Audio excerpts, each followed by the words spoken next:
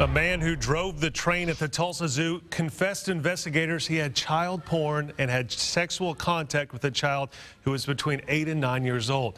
We told you on Fox 23 News at 5. Prosecutors charged Kim Bowman with child sex abuse.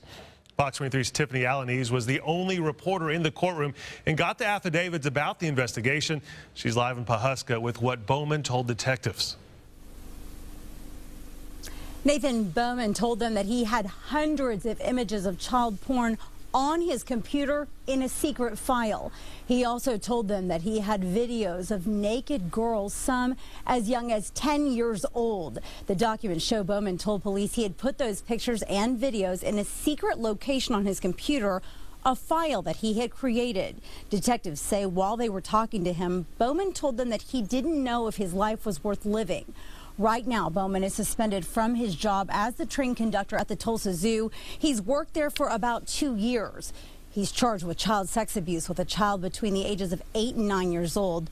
That victim was not someone he met through the zoo.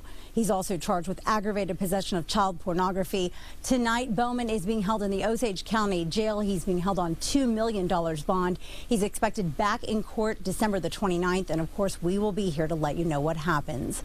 Reporting live in Pawhuska, covering news that matters, I'm Tiffany Alaniz, Fox 23 News.